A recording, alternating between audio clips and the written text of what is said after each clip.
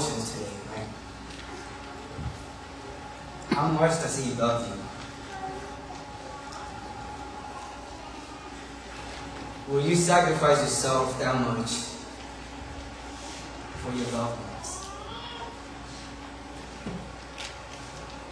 Aren't you a little bit more you stand to do or better? And that's how we treat them. You and I couldn't. You and I slashed put on the cross. We took a look, the reason why we're here, the reason why we have our faith. He had to be crucified to save us all. But a lot of us question, a lot of us doubt. In Luke 23, 39, 43, it says that one of the criminals hung, hunger, heard insults at him. Aren't you the Messiah? Save yourself and us. But the other one rebuked him. Don't you fear God? he said. Since you are under the same sentence, we are punished justly. For we are getting what our deeds deserve. But this man has done nothing wrong. Then he says to Jesus, Remember me when you come into your kingdom. And Jesus answered, Truly I tell you, today you will be with me in paradise. Jewish, Jewish will obey. You see, all the criminals that sit were crucified right next to Jesus. They are the do. Which one are we? We deserve to be on that cross. But we are we insult Jesus. Pepe hai Yesu ikut kata itu Messiah kata itu to Joshua to, to protect, to, to be the one for us. Good why don't you? Why don't you bring us down this from this cross? And every day we sit here, we, we, we question, we insult, we throw all these jabs at Jesus. Asking him why.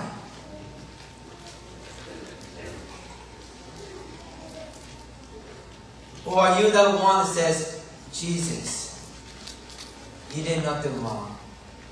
I'm up here for a reason. My sins are just. And I deserve to die. Go we all can learn. They torture all this time. Instead of praising, thanking, loving God, and loving what He did for us with His Son Jesus. We insult him. We question him.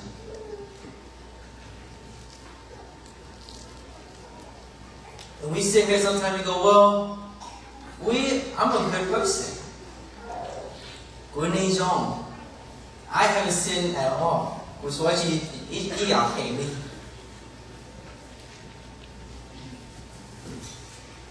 But who are, I learned this from the event we went to last week, and he says, what makes you good? Is it because you compare yourself to your neighbor?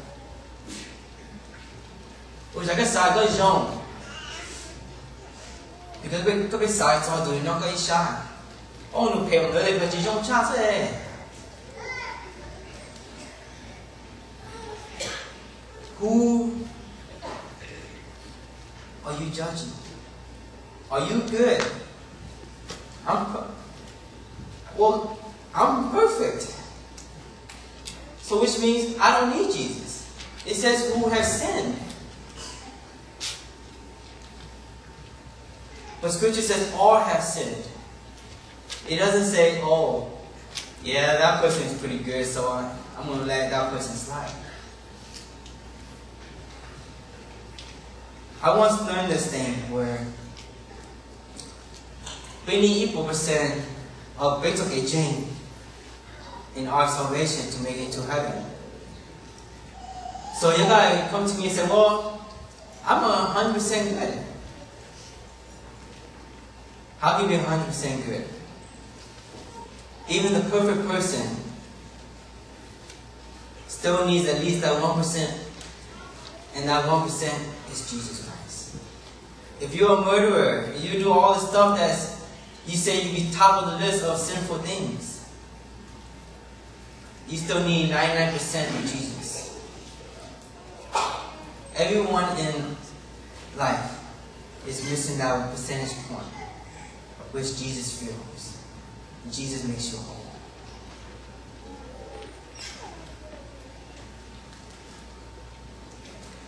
Are you good? And in whose eyes are you looking yourself through? Jesus, God says we are all sinners. So in God's eyes, we are no good. Because in Romans 3, 23 25 says, For all have sinned and fall short of the glory of God and all are just, justified freely by His grace through the redemption of Christ. All have sinned. Sometimes we come to church and just I'm lonely.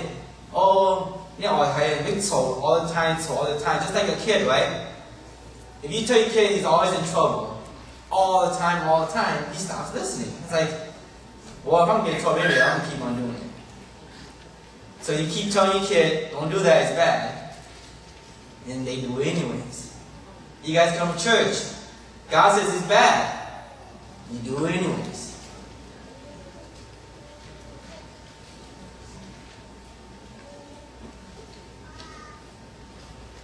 We all are here for reason.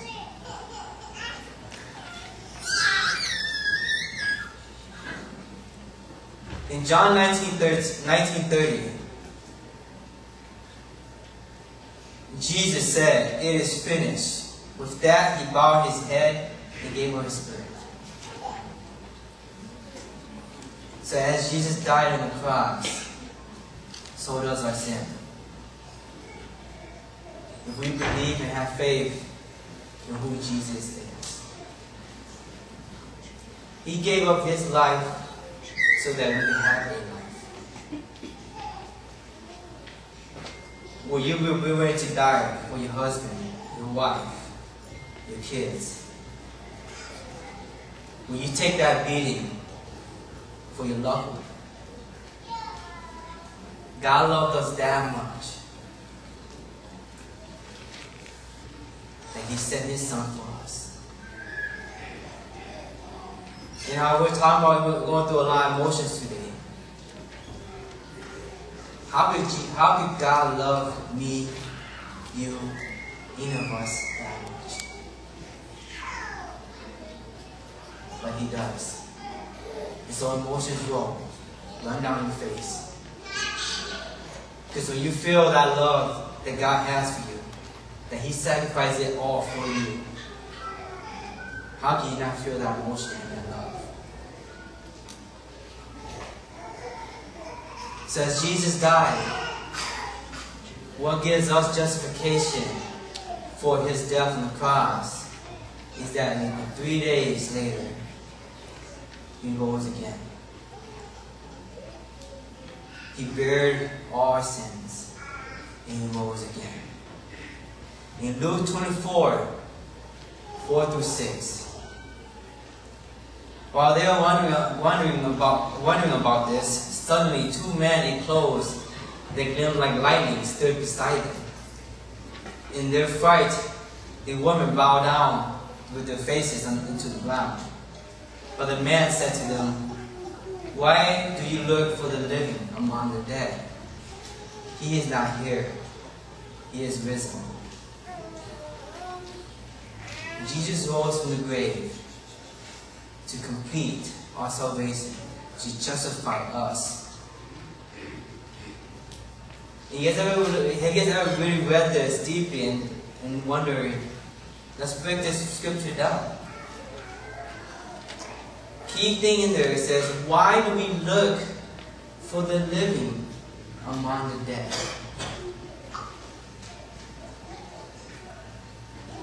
Why do we look for the living among the dead?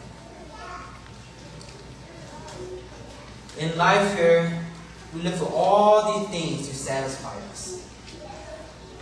Well, if I have this brand new car, I'm living life. I have this mansion, I'm living life. I have anything you can think of, and it's living life. But we know at the end of the day, that life brings death. Dead to. It says there stores riches in heaven, not on earth. But yeah, we store everything we want on earth and forget that heaven awaits us. So why do we keep looking for the why we could keep looking for the living among the dead? Jesus, you just show them. Let me tell you. Like I said, why we at the funeral? Why we come to a funeral? We should celebrate, enjoy, accept, have faith that Jesus is show them. Come celebrate what He has done for you on the cross. Maybe we take all this stuff to come satisfy our needs, to satisfy our life. But we end up going to a dead end and, and dies there. There's no path. 并并且耶稣都揸住耶稣的手，He is among us.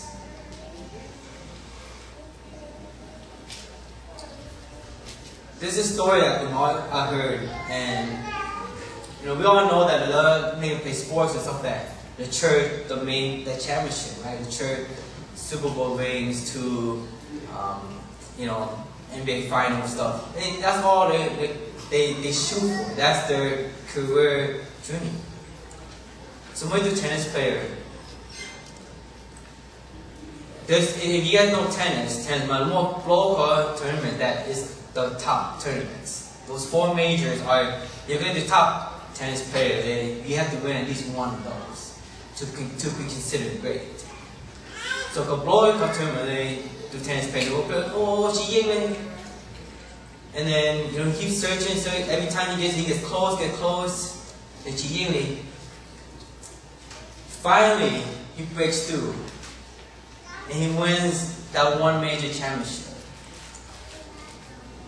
And he ain't get though, he's you know, crying, jumping for joy, all that, and then as it subsides, he, he looks back and goes, that is it. That's all I get.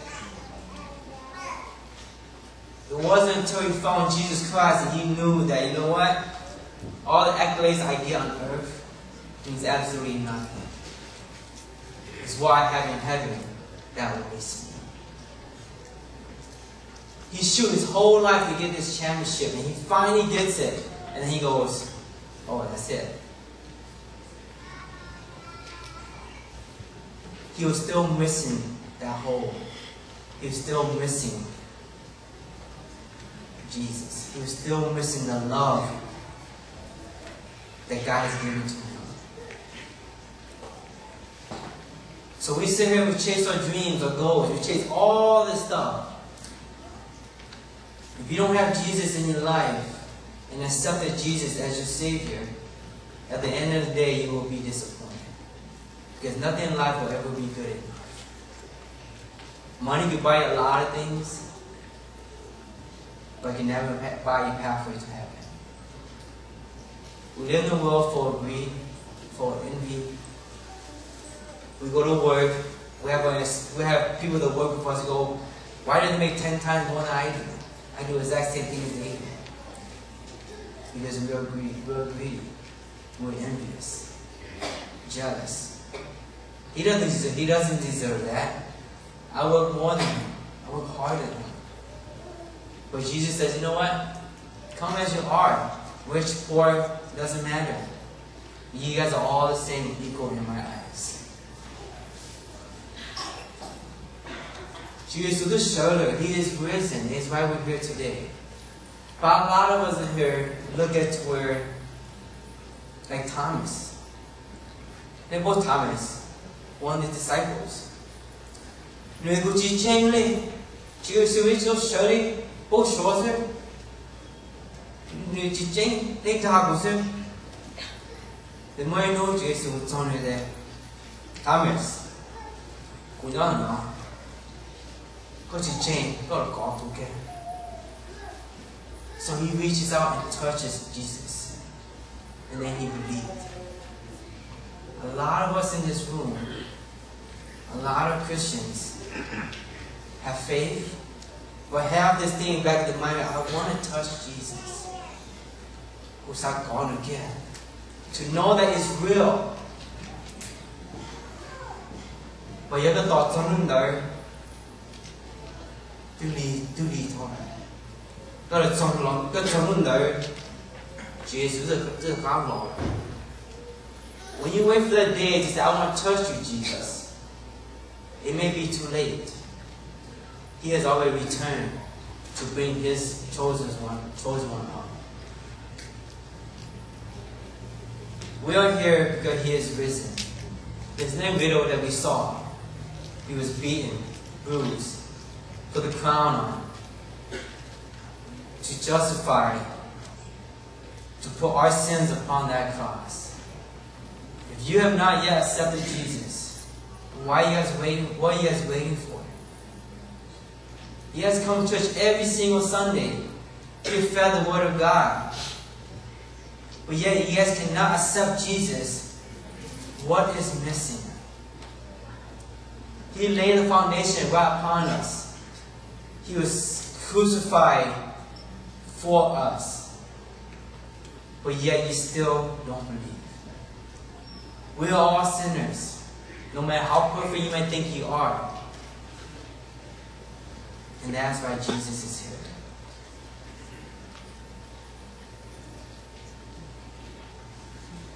So in closing, I want you to think of this. I have two cups here. It's a hot cup because I work there, so I just grabbed it. But just get happy. I have two cups here. What do we use these cups for? Right? Drink. It says caution is hot, so hot beverage. But what do you put inside of this cup? One cup has all the sins of this world. You drink every day. You keep drinking it, you keep drinking it, you keep drinking. What do you fill your cup with? They both look exactly the same.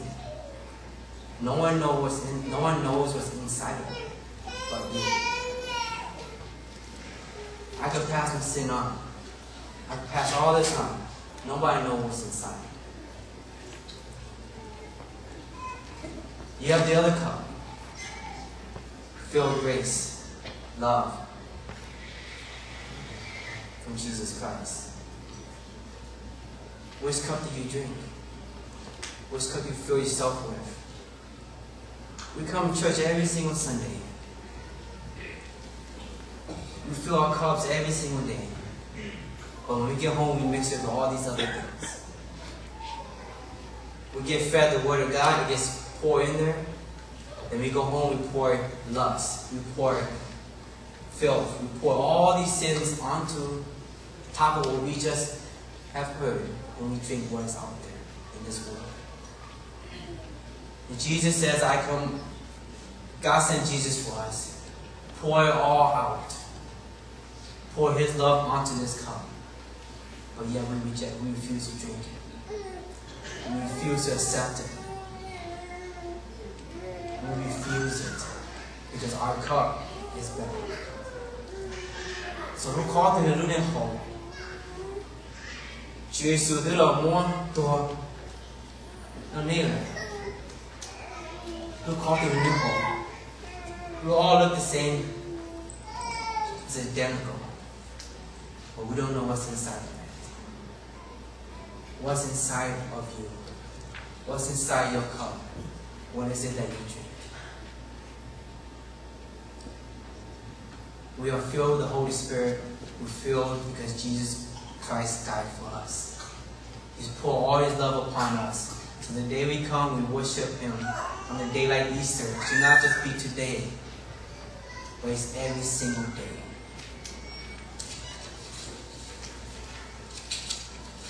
So in Romans 4 25 in here, it says, He was delivered over to death for our sins and was raised to life for our justification. So what are you waiting for? Du call to the lunar hole. Jewish to Lu, well then they Lu? The sins of this world with Jesus Christ. Let us pray. Heavenly Father, Lord, we come to you today.